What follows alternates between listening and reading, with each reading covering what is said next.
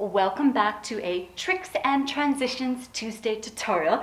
I'm Deanna, this is TNT DeeVine Fitness, as well as we are in the Pole DeeVine Studio. And today we are going to work on that transition of Cupid into Butterfly. Now both of these are slightly different than the traditionals, so this is not the classic Cupid, nor is the Butterfly the classic double bent leg butterfly.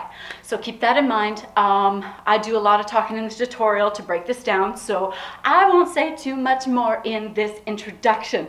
Remember, of course, there is the slow motion at the end in case you're wanting to add on the other pieces of this combo. Now, let's get at this.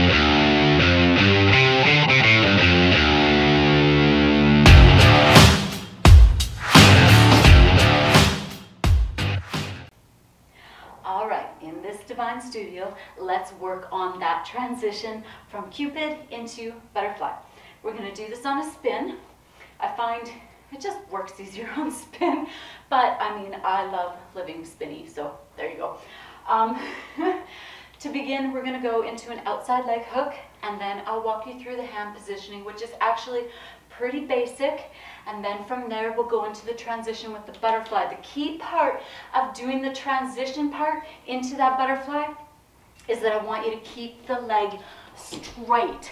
Poke her straight and leave it straight. So it's not the classic butterfly pose, but a variation that I think is really pretty and it's really fun to do this transition as there's a very major straight-legged swoop that you'll feel that is I love it.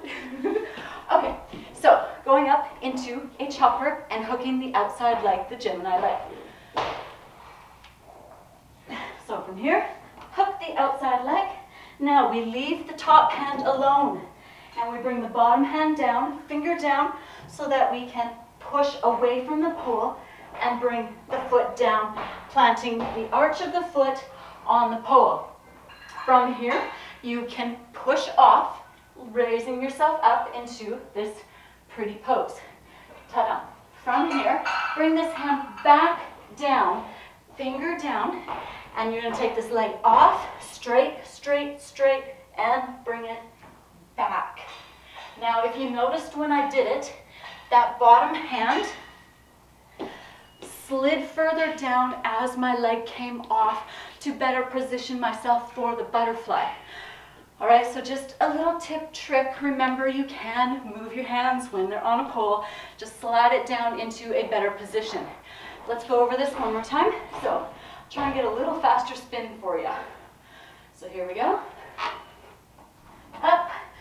Outside leg hook, top hand stays put, bottom hand, finger down, push away from the pole, bring your foot onto the pole.